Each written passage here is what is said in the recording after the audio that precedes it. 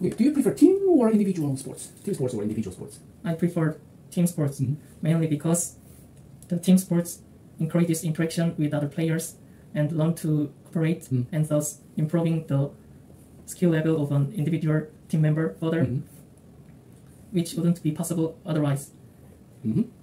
Team sports provide more opportunity for us to run meaningful things such as responsibility, unity, bravery, and teamwork. Yeah. Did you play any sports in your childhood that you no longer play? Yes, I did play volleyball in my ch- childhood, which I no longer play Mhm. because I have become busy with other priority of life. Mm-hmm. Besides, since I have grown up, Mhm. I have begun to like other kinds of sports. Mm-hmm. Who is your favorite sports star?